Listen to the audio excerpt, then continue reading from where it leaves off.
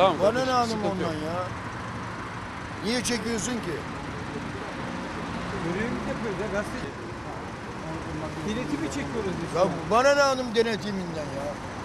Saçmalamayın ya çekmeyin.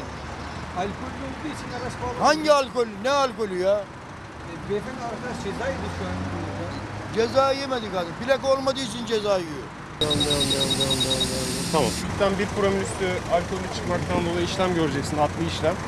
Ya çeksene hanım sen şunu. Güzelim çeksene sen şunu. Bana ne lan hanım sen- senin basın mensubun. Kamuoyuna açık bir alanda. Ya bana ne hanım kamyonu ya? Kamuoyuna açık bir alanda. Ya bana ne hanım kamyonu? Adam cezasını kesmiş da. Kamyon, Sana ne? kamyon değil beyefendi. Kamuoyu açık bir alanda biz şu an. Ya sana ne kardeşim? Ben cezamı kesmişim. Cezamı yemişim. Bırak çekme. Çekmesine yavrum. Niye çekiyorsun? Çekme.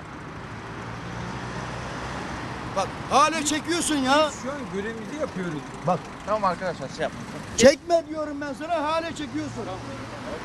Biz senin vatandaşlığını sorgulamıyoruz. Alkollü bir denetime yakalanmışsın. Ben ne olur hanım ay iki tane bira içmişim ne var? Bu suç mu? İçmeyen mi var Türkiye'de? Konuşmayın ya.